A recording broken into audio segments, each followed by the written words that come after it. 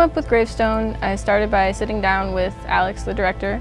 We talked about what he wanted to see in the set. I started looking up uh, images from Borderlands, stuff like what kind of saloons would look like, what the trading post could look like. They have a lot of handling in there and that's where I got a lot of the inspiration to start making it look like it was built from a lot of different stuff, like it was just kind of thrown together. After I got some initial designs down, I sent them over to Vanessa. After she gave me the original designs, which were just like flat um, drawings, I uh, took that and made 3D designs in SketchUp because uh, I like that program a lot and it's very handy for what we were doing, which was just set building. And they went from there to build the actual city.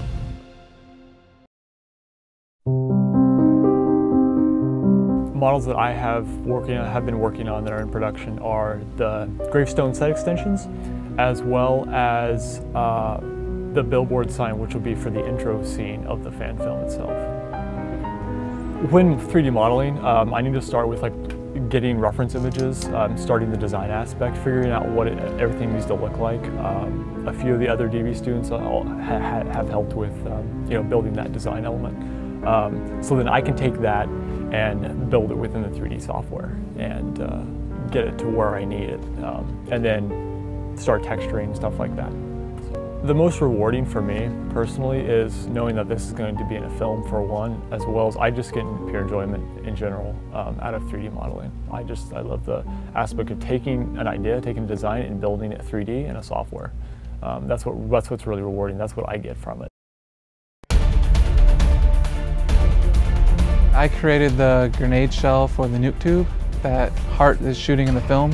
I spent days coming up with different concepts for it. And with each one, I found a feature I liked and then I added that to the next one. And I looked up online what different grenade cartridges there already are out there. And I based my design off that and I went through multiple designs trying to figure out which one I liked best. Uh, we even 3D printed out a version of it to use in the film for them to hold.